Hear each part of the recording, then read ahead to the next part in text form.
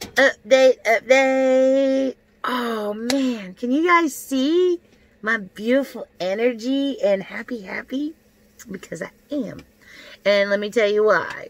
The reason why is because I've been given an opportunity to use my personal skills within my own comfort zone to do something that I'm super excited about trying.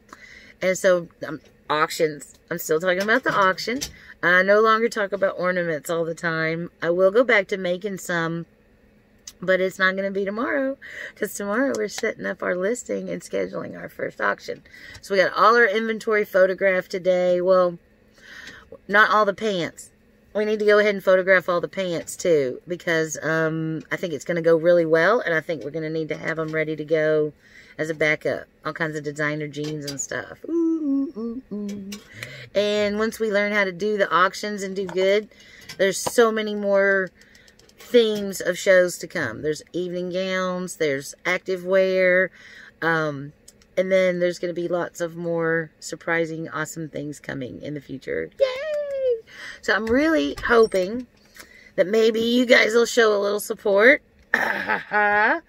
and just come and watch our first auction. So there's people watching, and then when there's a lot of people watching an auction, it gets you higher up in the algorithm of the what's of it, what's going on. You got a lot of people watching, so I was hoping everybody next Wednesday, I will maybe this weekend for just a trial soft thing. Not even worried. I don't really want anyone to intentionally come to it because we want to see what kind of response we get from just doing it randomly, spur of the moment, because that, that might be a, a good thing too. It might not have to be promoted super hard.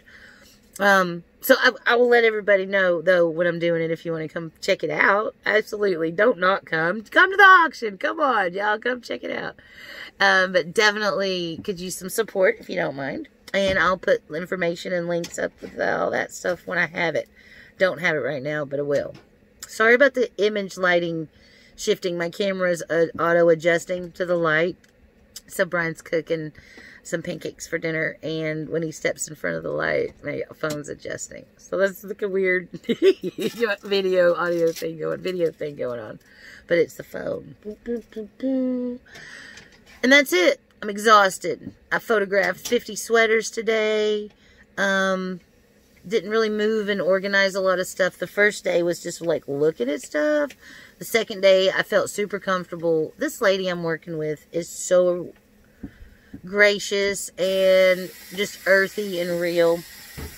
I'm not uncomfortable at all. I really dig working with her. I like Vicky. She's cool chick. She's a real cool chick, actually. So, funny. I, I don't know. I just like her. She's pretty groovy. I'm enjoying myself, and this is an amazing opportunity. So, you're going to have to come check out the auction. We're also going to be listing a whole bunch of stuff on eBay. And so I'll give you guys a information on how to find it. Maybe there's something in there you want to get. I don't know. But it supports me if you do, so you might as well take a peep. And that's all that's going on. It's a lot. I'm so excited. We're going to post the um, auction tomorrow, and I'll update you guys about it.